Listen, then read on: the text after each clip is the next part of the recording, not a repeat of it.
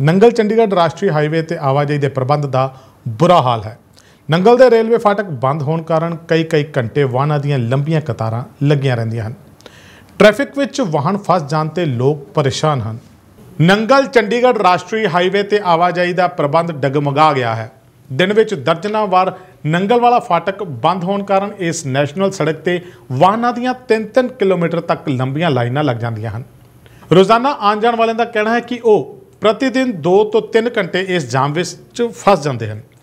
ਰਾਹਗੀਰਾਂ ਨੇ ਇਸ ਆਵਾਜਾਈ ਸਮੱਸਿਆ ਦਾ ਤੁਰੰਤ ਹੱਲ ਕੱਢਣ ਦੀ ਅਪੀਲ ਕੀਤੀ ਹੈ।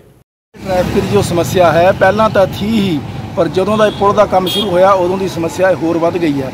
ਪ੍ਰਸ਼ਾਸਨ ਨੂੰ ਵੀ ਇਹ ਚਾਹੀਦਾ ਜਦੋਂ ਵੀ ਅਸੀਂ ਦੇਖਦੇ ਹਾਂ, ਦੁਪਹਿਰ ਨੂੰ 2 ਵਜੇ ਸਕੂਲਾਂ ਤੋਂ ਛੁੱਟੀ ਹੁੰਦੀ ਹੈ, ਸਕੂਲਾਂ ਦੇ ਬੱਚੇ, ਸਕੂਲਾਂ ਦੇ ਟੀਚਰ ਇੱਕ ਇੱਕ ਡੇਢ ਡੇਢ ਘੰਟਾ ਉੱਥੇ ਟ੍ਰੈਫਿਕ ਦੇ ਵਿੱਚ ਫਸੇ ਰਹਿੰਦੇ ਆ ਔਰ ਪੁਲ ਦੀ ਜੋ ਹਾਲਾਤ ਹੈਗੀ ਉਹਦੇ ਵਿੱਚੋਂ ਲੰਘਣਾ ਬੜਾ ਔਖਾ ਹੋ ਰਿਹਾ ਪ੍ਰਸ਼ਾਸਨ ਇਸ ਵੱਲ ਬਿਲਕੁਲ ਧਿਆਨ ਨਹੀਂ ਦੇ ਰਿਹਾ।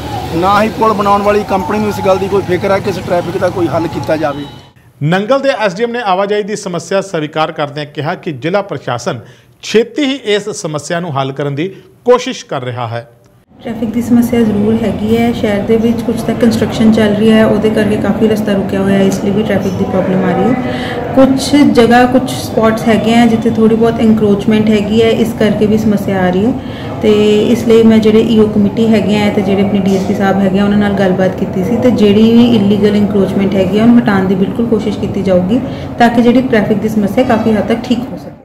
ਸ਼੍ਰੀ ਅਨੰਦਪੁਰ ਸਾਹਿਬ ਤੋਂ ਬਿਮਲ ਕੁਮਾਰ ਦੀ ਰਿਪੋਰਟ।